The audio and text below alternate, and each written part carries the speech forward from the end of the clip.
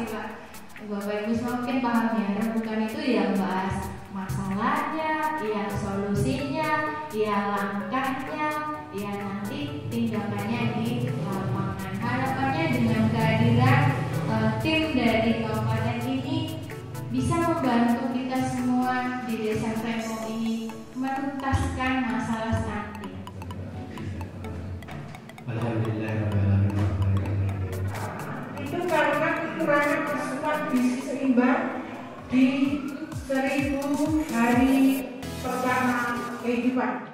Dan seluruh hadirin yang hadir di sini yang kami hormati. Uh, semuanya ikut yang di depan karena waktunya sudah siang. Saya cuma membacakan komitmen saja. Barangkali komitmen bersama penanggulangan stunting desa Krepong.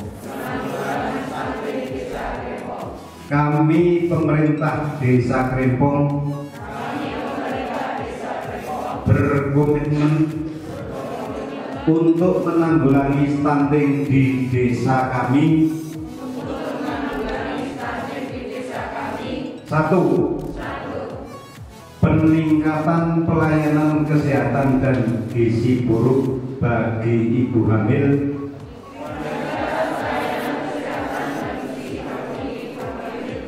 Ibu menyusui dan anak di bawah 2 tahun.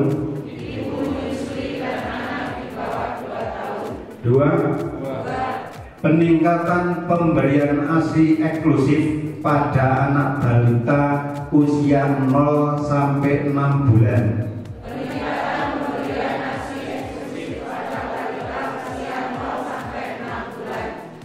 Tiga, pemberian makanan bergizi bagi ibu hamil dan balita.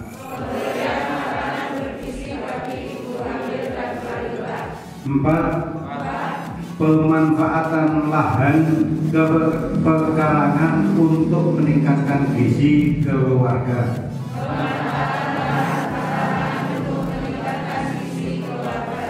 Lima,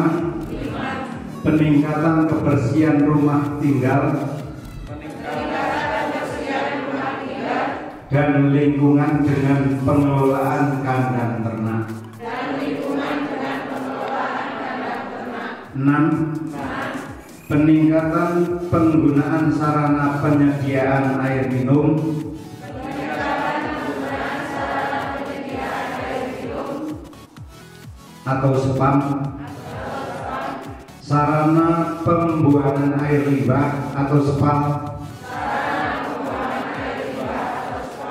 dan jamban yang sehat. Tujuh, menganggarkan kegiatan penanggulangan stunting melalui dana desa atau DD ataupun alokasi dana desa atau ADD.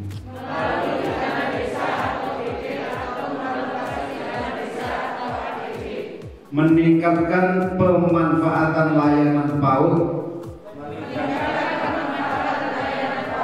dan kelas parenting.